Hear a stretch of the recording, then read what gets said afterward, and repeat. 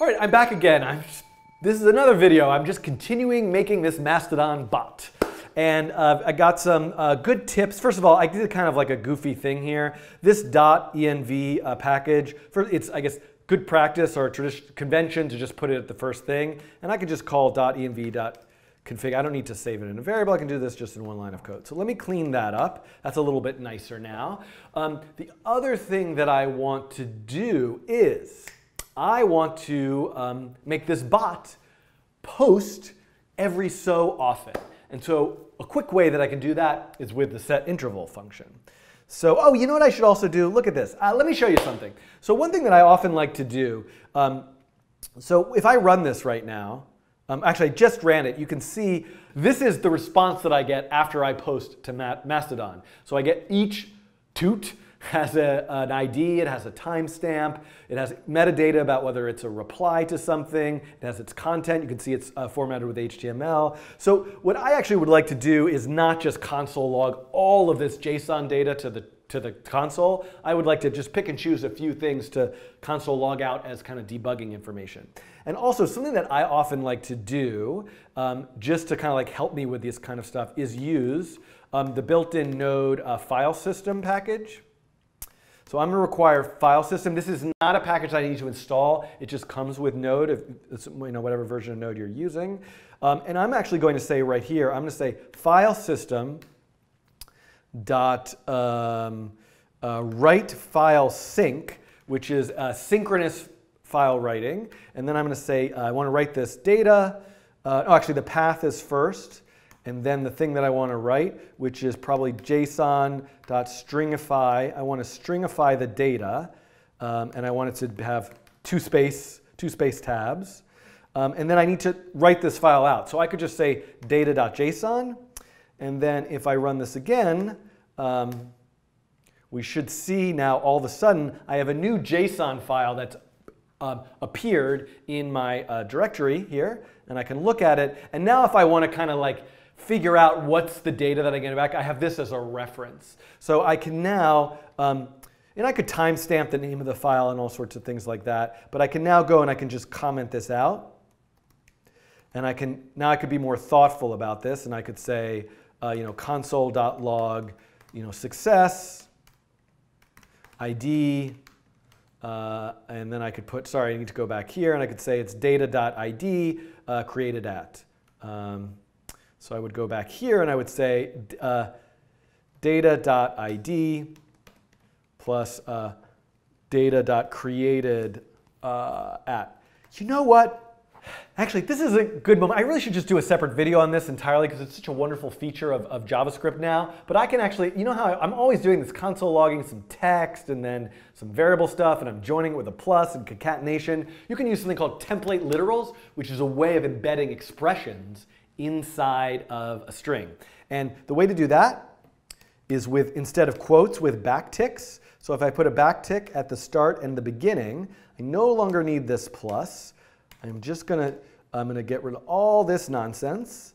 Um, success, you know, ID, I'm just gonna do ID um, and timestamp, colon, and so now this is a string, and it has basically, like I want ID, this is what I want to literally see, and then what I want to see is the value of this. And the way that I do that is with dollar sign, curly bracket, curly bracket. So now anything inside of here is an expression. So I could write 4 plus 7, and it would, it would, it would, it would put 11 in the string. And then I can say timestampy. Uh, I can make this like this.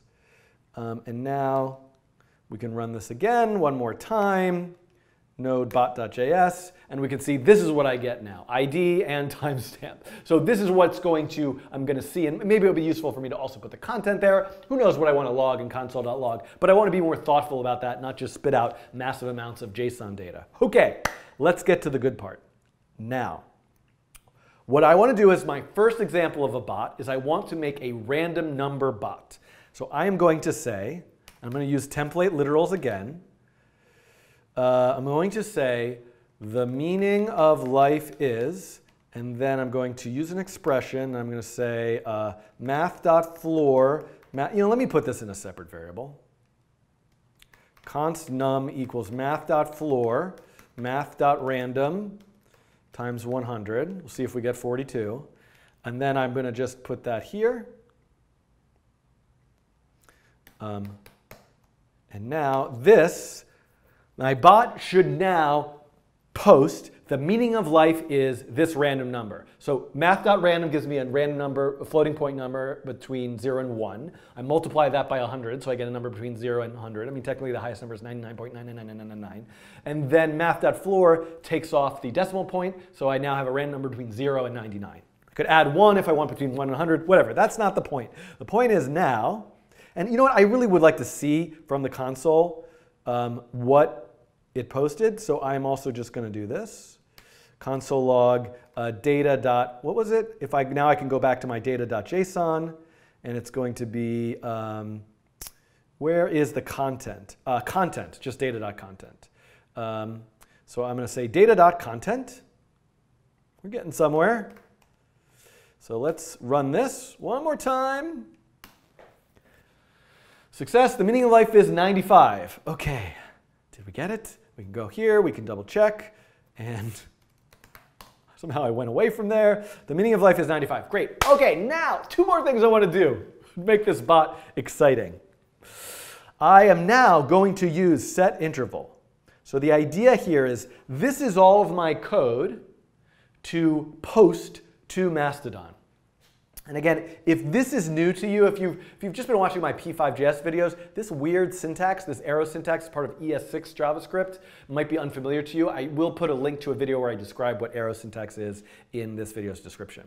Um, okay, so now what I want to do is all this stuff here is basically just a function called toot, right? Because what I want to do is this function will pick a random number, create the status, and post it.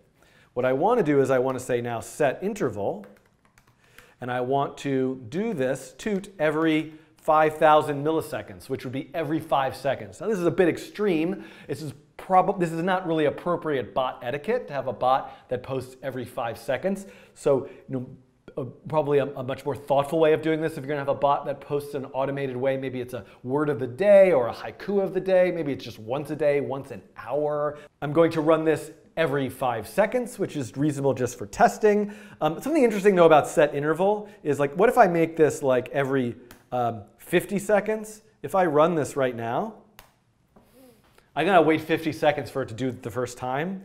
So, and that's not really such a great thing. So I am going to actually also just call it once first and then do it every five seconds. Okay, here we go. Got meaning of life is, whoa, it really picked 99? That is awesome. Uh, and it's 48. Oh, we're getting close to 42. We can see it's doing this every five seconds. I'm going to quit out of it. Um, and I'm going to go back to here. We can see there it is. These are my posts that I did. You can see 10 seconds ago, 10 seconds ago now. I mean, this is really five seconds ago. All right, so here's the thing. I want to show you. There's so much more. Remember how I made this these parameters, all I'm doing is saying this is the status that I want to post automatically from my node program? Well, one of the things that I can actually do is I can go back to the documentation. There are all these other things. So media IDs is something I really want to show you in a future video. It's a way I can include an image or other media with the, with the post. But one thing that I can do that's kind of fun is just this spoiler text thing. So what spoiler text does, it allows me to have sort of two aspects um, to the post. The meaning of life is, and then the status can just be num. So I'm going to break this up into two parts, and I need a comma here. And I'm just going to show you what this looks like. So I'm using these parameters, different properties of the JavaScript object that's going to go here into my post call. And I'm going to now run this one more time. And I'm going to go back to my bot. And I'm going to look, and you can see, look at this. The meaning of life, but I now have this nice show more button. So spoiler alert, if you click on this, you'll see that it's 52 or that it's 23. And again, I'm doing this too often, so I'm going to absolutely quit this. And then if I wanted to do, now if I want to have my bot post once a day, every 24 hours, I can just go right back to my code and I can say it, uh, set interval should be uh, 24 hours, there's 60 minutes at 24 hours, 60 minutes an hour, 60 seconds an hour, and 1,000 milliseconds in a second. So now, here we go. We now have a bot a Mastodon bot that will post a numeric meaning of life once a day. So in theory, if I just left this running here and never closed my laptop or never did anything, this would just run forever and once a day post. The truth of the matter is you're gonna have to think about, well, once you've created your bot, like where are you going, where's that bot gonna live? I mean, you could have it live on your laptop or computer that's always plugged in and always connected to the internet, but more likely you're going to wanna host it on a web server, on some sort of server, or maybe get a Raspberry Pi and plug it into the wall and have it always sitting there connected to the internet. I will cover that in future videos. In fact, I have covered that for how to deploy a Twitter bot, and ultimately it's exactly the same thing, but just now the code has changed and it's working with Mastodon. Okay, so I'm going to show you a bunch of other kinds of things you can do in bots, most notably um, listen. So the streaming API is a way that I could connect and I could say anybody, if anybody ever mentions me, I could reply to them. So I could have a bot that participates in a conversation. One thing you should really think about, and I'll talk about this again at the beginning of the next video, I mentioned bot etiquette, etiquette but if you really want to be thoughtful about making a bot that's not suddenly going to spam people. So it's not going to just pick random Mastodon users and start at mentioning them or start picking random posts and replying to them. You really want your bot to engage when people opt in to engage. So maybe you only want to uh, post messages to people who have chosen to follow the bot or chosen to mention the bot already in, in a particular post. So I, I just I can't keep saying post because I haven't gotten comfortable. Just when I got comfortable saying tweet, I'm now no longer comfortable saying toot. But I'll get there. I'll get there eventually. Okay, see you in the next video.